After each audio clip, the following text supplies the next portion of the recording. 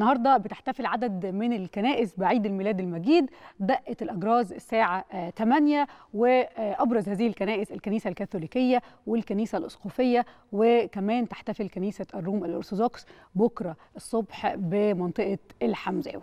تحتفل الكنيسة الكاثوليكية بعيد الميلاد الجديد النهارده عيد الميلاد المجيد بعام جديد يترأس القداس الأنبا إبراهيم إسحاق قداس عيد الميلاد المجيد بكاتدرائية السيدة العذراء مريم بمدينة نصر ويستقبل بكرة الصبح المهنئين بعيد الميلاد المجيد. السنة الجاية تكون سنة كلها خير وسعادة ومحبة على الجميع لأنه السنتين اللي فاتوا بكل تأكيد كانوا سنتين صعبين كورونا والحرب الروسية الأوكرانية وتداعيات كتير على العالم كله ومصر بالتأكيد جزء من العالم لكن الحقيقة إنه الاحتفالات بالعام الجديد احتفالات مبهجة بتخلينا كلنا نكون متفائلين إن شاء الله بإنه يكون عام سعيد على الجميع عام يعني تملأه المحبة والرحمة بإذن الله. كل سنة وكل مسيحي العالم ومسيحي مصر بالتأكيد يعني كل صحة وسلامة. ودايما المصريين شعب واحد مترابط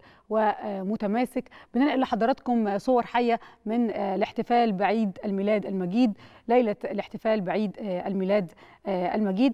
يعني نتابع مع حضراتكم على مدار الحلقة ودي صور حية من الفاتيكان والاحتفال بليلة عيد الميلاد المجيد. هنتابع مع حضراتكم على مدار الحلقة الأجواء الاحتفالية الكبيرة بعيد الميلاد المجيد.